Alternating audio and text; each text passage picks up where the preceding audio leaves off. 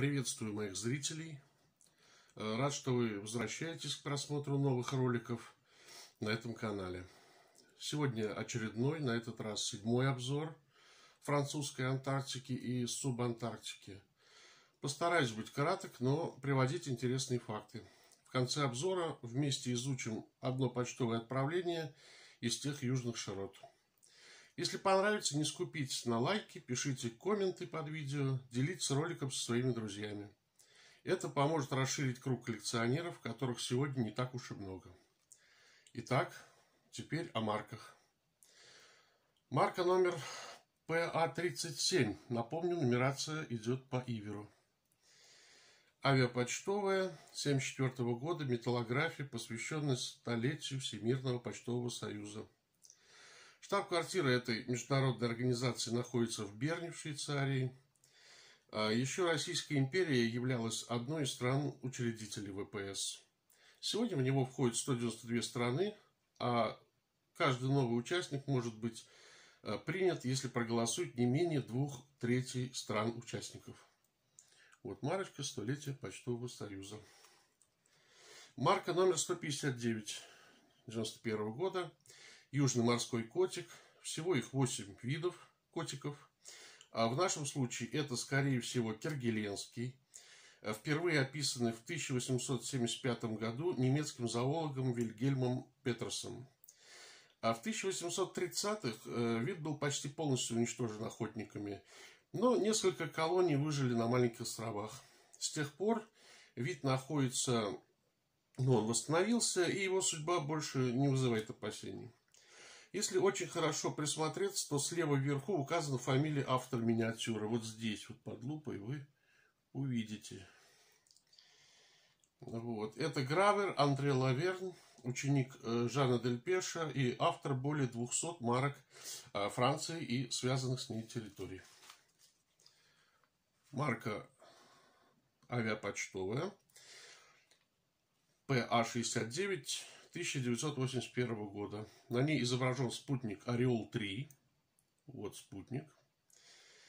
А, советско-французского проекта Аркад-3.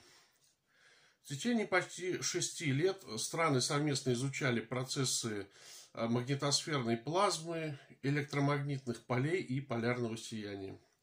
Советский Союз в проекте представлял доктор физико-математических наук а, Юрий Ильич Гальперин, а Францию значит, Ари Ремеш из Тулузского национального центра космических исследований. Следующая марка в нашем обзоре. Марка 137, 88 года, металлография, парусник Фортуна.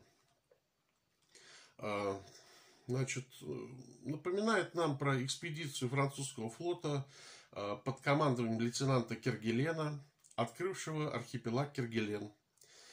Э, Киргелен сообщил военному министру, что открыл не архипелаг островов, а южный континент. Но это оказалось ошибкой. Сильно преувеличив значение своего открытия, Киргелен будет судим за это. Ведь он даже не высаживался на, этот, на этой земле, чтобы убедиться, что это не континент, а около 300 мелких островков. Впоследствии архипелагу Киргелен злосчастному дадут имя этого человека. Марка номер 121, вот она, 86 -го года, изображает э, судно «Полярный медведь». Там название указано э, на норвежском. Я не смогу его выговорить. Перевод. «Полярный медведь». Оно было построено в Норвегии в 1975 году. С него велась в начале охота на тюленей.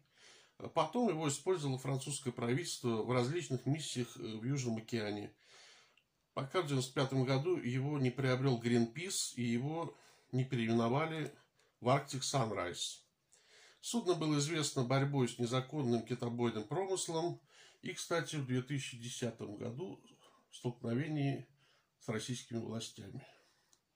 Интересный вопрос. Изучите сами. Далее. Красивая очень сцепка из трех марок. Номер 272А 2000 года.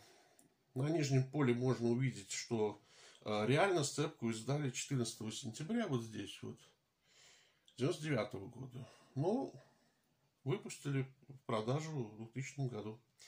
Марки изображают снижение популяции антарктических птиц, императорских пингвинов, альбатросов островов Кразе. Вот они. Созданию демографических баз данных в орнитологии.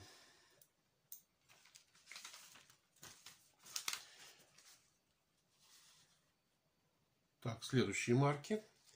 Марка номер 295 2001 года. Посвящена радиолюбительской связи а, архипелага Крозе Южных островов и российской космической станции «Мир». Вот здесь изображена российская космическая станция «Мир». Вот, значит, кстати, в том же 2001 году, когда и была выпущена марка, 23 марта станция была уничтожена как устаревшая, проработав Э, на околоземной орбите почти 15 лет. Следующая марка. Номер 527 2009 года. Раковины моллюсков, э, вот здесь, видите, вот изображена раковина, они используются в качестве, ну, как бы архива изменчивости климата в полярных широтах. Геохимия минерализованных тканей чувствительна к физико-химическим изменениям морской воды – Раковины двухстворчатых моллюсков в этом аспекте были исследованы в специальной программе Макарби. Это аббревиатура, вот она вот здесь указана. На марке, посвященной этим исследованиям, изобразили антарктического гребешка, попробую сказать на латыни, Адамусиум, Адамусиум кальбеки, вот, я с латынью традиционно не дружу, и ныряльщика, который вот к нему ныряет, чтобы его поднять на поверхность и изучить. Следующая марка, номер 124 87 года, представляет золотоволосого пингвина, или, как у англичан он называется, пингвин франт. Внешне он похож на пингвина Шлегеля или пингвина Макори. Это такие эндемики. Раньше их даже объединяли в два подвида одного вида – Сегодня считается, что золотоволосый пингвин – это отдельный вид все-таки. Его даже поместили на флаг и герб британской заморской территории Южная Георгия и Южные Сандвичевые острова. Это о марках. Дальше я обещал перейти к обзору одного антарктического отправления, попавшего мне в коллекцию. Сейчас я вам покажу. Вот оно. Всем будет видно. На конверте наклеены две марки с изображением кораблей. Первая марка номер 75 79 года с вертоль... э, вертолетоносцем Жанна Д'Арк. Вторая марка номер 67, вот красненькая. Э, это марка 77 года, марка из серии. На ней изображено судно ледового класса Таладан. Вообще вот эта марка вторая очень хорошо вписалась в тематику этого отправления – ведь полярный корабль Таладан и должен был доставить письмо от французской антарктической станции Дюмон-Дюрвиль, которая базируется на земле Адели в Антарктиде. Вот, видите, здесь печать Дюмон-Дюрвиль, территория Адели, или земля Адели, как мы ее называем. 18 декабря 1981 года. Вот печать. Таладан и изображение того же корабля, что и на марке. Очень здорово. Корабль Таладам был построен в 1957 году в датском Ольборге. Его название сочетает скандинавское имя Тала, женское, и указание на датское происхождение, слово «дан». Как видно из информации на штемпеле, вот здесь и здесь, Корабль принадлежал датской компании линии Лауритсона, основанной в Копенгагене в 1884 году. В 2014 году грузовой флот этой компании, например, насчитывал 150 э, грузовых кораблей. Таладан в 1957 году и вплоть до 1982 э, года фрахтовалась австралийскими национальными антарктическими экспедициями и совершала длительные переходы из Дании в Австралию. Представьте себе зрительно, как вот из Дании, то есть сверху, из северных широт в южные, в Австралию. Французы тоже это представили, просекли тему, так сказать, и э, воспользовались этим. Стали фрахтовать Талудан по пути следования, загружая его во французском Гавре и разгружая в Дюмон-Джервилле на своей антарктической станции. На конверте имеется также личная подпись мастера корабля. Вот она. Почему мастера, спросите вы? Если человек изучал навигацию на практике, а постепенно сдавая экзамены и получая сертификаты компетентности, то в конечном итоге в Дании он становится мастером. Мастер.